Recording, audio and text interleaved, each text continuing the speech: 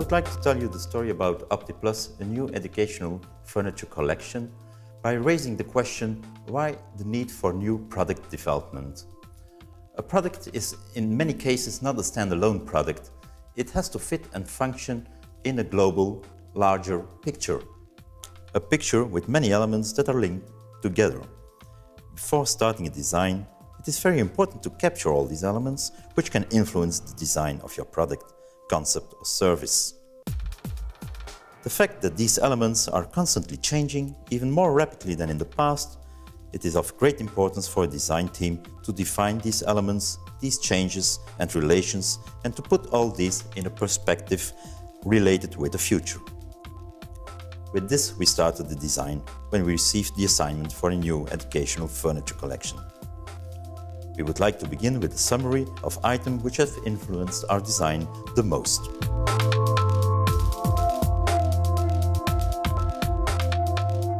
First, we have seen that the relationship between pupil and tutor is evolved to a more open relation and less hierarchical. Their opinion is more respected and they are expected to communicate and interact more. Also, the way of education is changed to a more dynamic, diverse way. Interaction between individual teaching, group working, between inside and outside the classroom.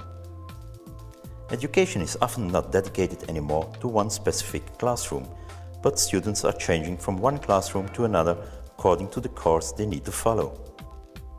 This means that the idea that each student needs to have his personal, individual table is getting less important. Much more important is the fact that each student can sit in a comfortable, ergonomically way on site where they need to be and where they have a place to put their personal belongings. Second important item of influence are new insights on ergonomics. For the last century, work chairs for schools have been designed for sitting upright, with the hip, knees and ankles all at right angles. Until recently, it is widely believed that sitting with a 90 degree bending of the hip joint preserves the natural healthy curve of the back.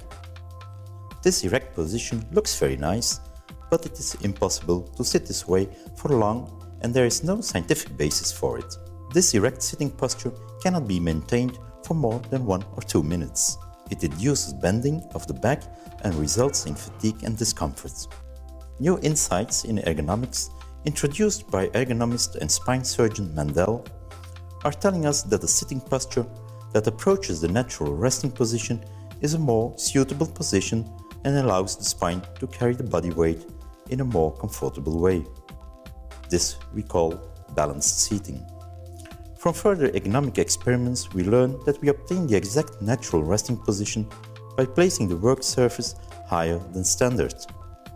Muscles are relaxed and the body is in a perfect posture for balanced seating.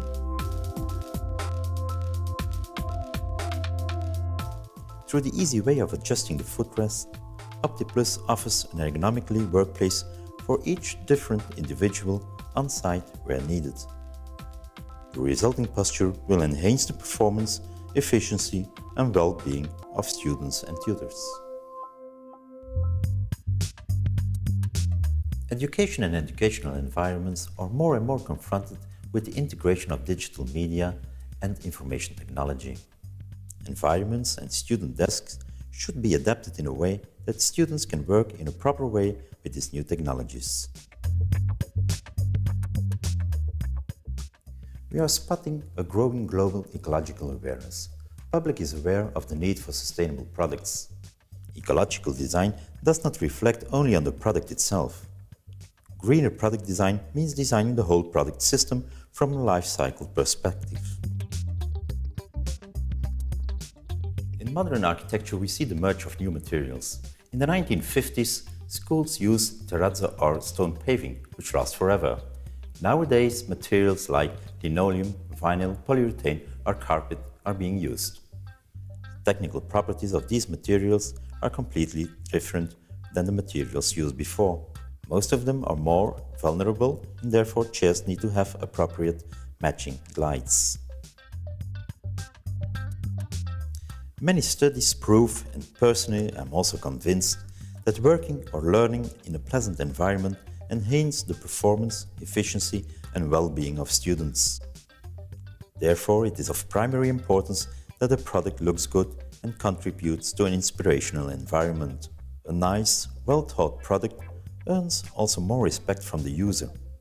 Besides these functional requirements, where many manufacturers in succeed, it is also important that the product fulfill these more emotional aspects, which are situated on a high level.